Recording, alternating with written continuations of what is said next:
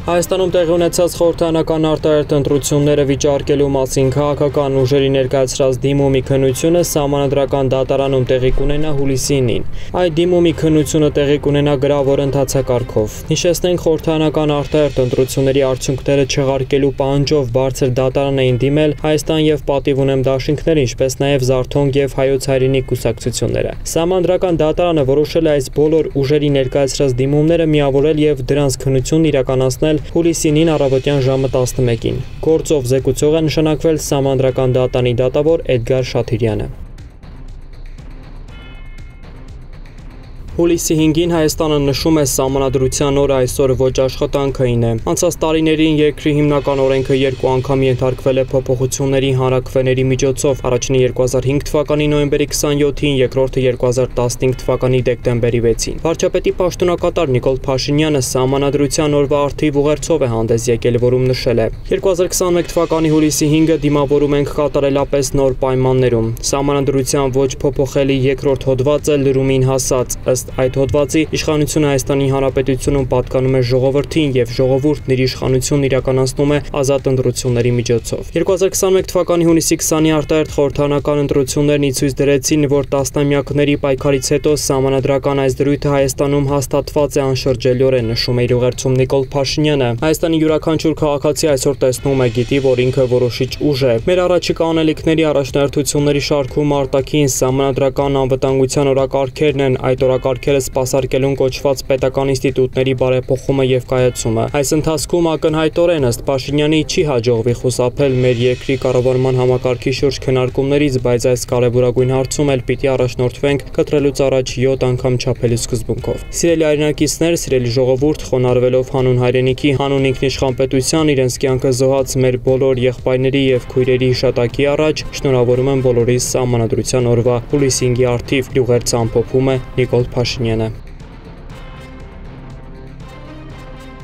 Սահմանադրության օրվան ընթരാճ վարչապետի պաշտոնակատար Նիկոլ Փաշինյանի առաջարկությամբ եւ նախագահ Արմեն Սարգսյանի հրամանագրերով կոչումներ են շնորվել։ Ոստիկանապետ Վայ Ղազարյանին շնորվել է ոստիկանության գեներալ-մայորի կոչում։ Նույն կոչումը շնորվել է ազգային անվտանգության ծառայության տնօրեն Արմեն Աբազյանին։ ԱԱԾ պետական պահպանության ծառայության պետ գնդապետ Սարգիս Հովանիսյանին շնորվել է գեներալ-մայորի զինվորական կոչում։ Նույն կոչումը շնորվել է նաեւ պաշտպանության նախարարության ռազմական ոստիկանության պետ Աշոտ Զաքարյանին։ Մարտի 1-ի գործով մեղա բացատրող դատախազ Գևորգ Բադասարյանին, դատախազի տեղակալներ Արմեն Ֆանդյանին, Սրփուի Գալյանին շնորվել է արդարադատության 3-րդ դասի պետական խորհրդականի աստիճան։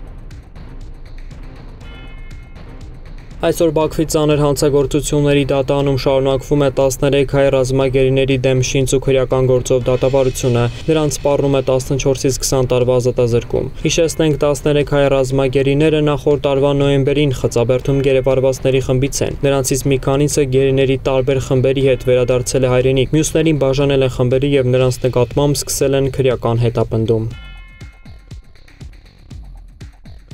Եվրոպական միությունը Հայաստանին կհատկացնի մինչև 1.6 միլիարդ եվրո կամ մոտ 1.9 միլիարդ դոլար որպես օգնություն հաջորդ 5 տարիների ընթացքում, ասվում է հուլիսի 2-ին Եվրոպական հանձնաժողովի հրապարակած աշխատանքային փաստաթղթում։ Արևելյան գործընկերության բոլոր երկրներից Հայաստանից ավելի շատ ֆինանսավորում կստանան Ուկրաինան մոտ 2.3 միլիարդ դոլար եւ Մոլդովան մոտ 1.94 միլիարդ դոլար 5 տարվա ընթացքում։ Օգնության պլանի մյուս ծայրում Ադրբեջանն է, որ ինչպես սպասվում էր Եվրամիությունից կստանա ընդամենը 100 166 միլիոն դոլար առաջիկա 5 տարիներին։ Արևելյան գործընկերության Հայաստանի մյուս հարևանը Վրաստանը կստանա մոտ 1.4 միլիարդ դոլար։ Եվրամիության հարևանության եւ ընդլայնման հարցերով հանձնակատար Օլիվեր Վարհեին ծրագրում է իր առաջիկա պաշտոնական այցը կատարել Հարավային Կովկասի 3 երկրներ հուլիսի 6-ից 9։ Հայաստանում նախատեսված են հանդիպումներ Նիկոլ Փաշինյանի, Արմեն Սարգսյանի, կաթողիկոսի եւ այլ բարձրաստիճան պաշտոնյաների հետ։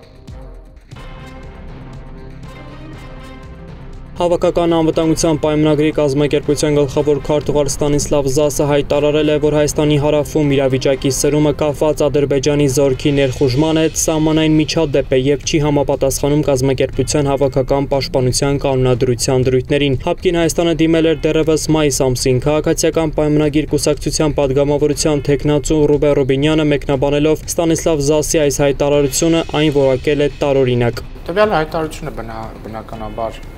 տարօրինակ է մեզ համար մի քանի պատճառով նախ պարոն Զասը նշում է որ Փարքաստո զոհեր չկան, ցավոք զոհեր կան, զոհ կա, այսինքն այս ընթացքում հայ զինծառայող է սպանվել ադրբեջանցի զինվորի կողմից եւ նաեւ եւ նաեւ դե կերակրոցների մեծ մասը օդ են եղել բայց նկատում եմ փաստ է զոհ կա եւ գերեվարվածներ են եղել կհիշեք եւ երկրորդը Հայաստանը դիմել է հապկին հապկ պայմանագրի երկրորդ հոդվածի հիման վրա ինչպես նաեւ ճգնաժամային իրավիճակներին արձագանքման հապ կանոնակարգի հիման վրա։ Իհարկե մենք հասկանում ենք եւ գաղտնիք չէ, որ սա ըստ էության առաջին դեպքն է այսպիսի հապկի համար, այսինքն առաջին դեպքն է, որ հապկ անդամը սոցիալացի հիման վրա դիմել է եւ ինչ որ առումով ավանդույթ էլ չկա եւ ինչ որ առումով սա հապկի համար նաեւ ստուգատես է, բայց կա մի փաստ որ ՀԱՊԿ-ը ունի պարտականություններ, այսինքն ՀԱՊԿ անդամ երկրները, որպես մի կազմակերպության անդամ, փոխկապակցված են պարտավորություններով եւ կա ՀԱՊԿ գործիքական, որը պիտի գործի։ Եվ մենք շարունակելու ենք մեր ՀԱՊԿ գործընկերների հետ աշխատանքներ տանել այս ուղղությամբ եւ ես կարծում եմ, որ մոտորես նաև մեր համապատասխան գերատեսչություններ, մեր համապատասխան գերատեսչությունների ներկայացուցիչները աշխատանքային կարգով կապի մեջ կլինեն մեր գործընկերների Հայաստանի եւ հայության համար հրատապարծերով հանուն հանրապետության կուսակցության ղեկավար Մարմնի անդամ 7-րդ գումարման խորհրդանի падգամավոր Արման Բաբաջանյանը օրերս հանդիպել է Լոս Անջելեսի հայ համայնքի հետ։ Իթիվս այլ հարցերի Բաբաջանյան անդրադարձել է Թուրքիայի հետ հարաբերությունների հերանեկարին հիշեցնելով նախկին իշխանությունների օրոք Թուրքիայի հետ ֆուտբոլային դիվանագիտությունից դրվագներ։ Տարածաշրջանում անվտանգության միջավայր ձևավորելու, ձևակերպելու այլ ընտրանք ուղակի գոյություն չունի առանց Թուրքիայի հետ խոսակցության։ Եվ Երևանի ու Անկարայի միջև երկխոսությունը միայն կարող է վերադարձնել Հայաստանի սուբյեկտայնությունը եւ Հայաստանի ընտունակությունը վերադառնալու այն սեղանի շուրջ, որտեղ որոշումներ են կայացվում Հայաստանի մասին, Հայաստանի ապագայի վերաբերյալ։ Քննարկել փրկիչ կամ թշնամի, ոչ թե քննարկել իրավիճակ, այդ իրավիճակում շահեր, խնդիրներ, հնարավորություններ ու հերանեկարներ կարող ենք ամբողջ ազգով կանգնել հայ-թուրքական սահմանին ու բղավել, որ Թուրքը կամ Թուրքիան մեր թշնամին է։ Դրանից թե մեր ուժը չի ավելանալու եւ թե Թուրքիայի ուժը չի պակասելու։ Դրանից չի փոխվելու ոչինչ։ Եվ հենց դա է ծուղակը, որում մեզ փորձում են պահել այլոնք։ Ծուղակ, որպեսի հայկական պետականությունը չկարողանա մեր տարածաշրջանում հարավային Կովկասում փոխելու ոչինչ։ Չփոխել ոչինչ նշանակում է չփոխել տարածաշրջանում ռուս-թուրքական ձևաչափի դոմինանտությունը որը վերականգնվեց եւ կնքվեց Արցախի դեմ պատերազմով։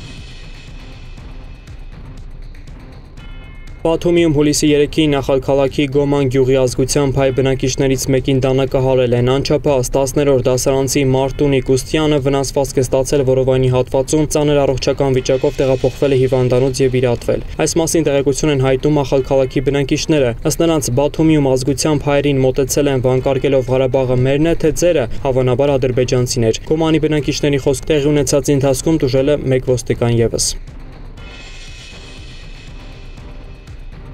Անցած գիշեր Կասպից ծովի ադրբեջանական հատվածում բռնկված հրդեհի պատճառը ափից 30 կիլոմետր հեռավորության վրա գտնվող Դաշլ կղզում տեղի ունեցած ցեխային հրաբխի ժայթքումն էր։ Առավոտյան նման հայտարարությամբ է հանդես եկել Ադրբեջանի պետական նավթային ընկերությունը Սոկարը։ Ադրբեջանի բնապահպանության նախարարության տարածած տեսանյութում տեսանելի է կղզու տարածքում բռնկված կրակը, որը սակայն ըստ պաշտոնական Բաքվի աստիճանաբար մարում է։ Ադրբեջանի պետական նավթային ընկերությունը նաև հայտարարում է, որ բաց ծովում գտնվող իր ենթակառույցներից եւ ոչ մեկին այդ թվում նավթային պլատֆորմներին եւ խողովակաշարերին հրդեհի հետևանքով որևէ վնաս չի պատճառվել։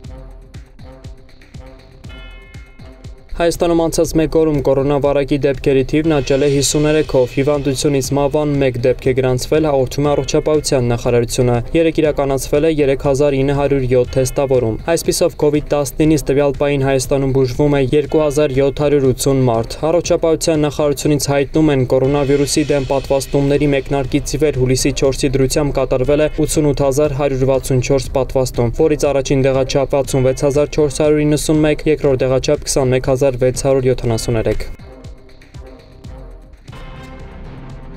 Հուլիսի 5-ից 10 Նարատյան դաշտում եւ նրա նախալեռներում, Վայոց ձորի նախալեռներում, Սյունիքի հովտային գոտում եւ Երևանում սպասվում է բարձր կարգի հրդեհավտանգ իրավիճակ։ Հանրապետության տարածքում հուլիսի 5-ից 6-ը 10-ին սպասվում է առանց տեղումների եղանակ։ Հուլիսի 7-ից 9 առանձին շրջաններում կեսօրից հետո սպասվում է անձրև եւ ամպրոպ։ Առանձին հատվածներում հնարավոր է նաեւ կարկուտ։ Երևանում հուլիսի 6-ը 10-ին սպասվում է առանց տեղումների եղանակ։ Հուլիսի 7-ից 8-ի երեկոյան ժամերին քաղաքի առանձին հատվածներում սպասվում է կարճատև անձրև եւ ամպրոպ։ Ամպրոպի ժամանակ քամուշ գնացում։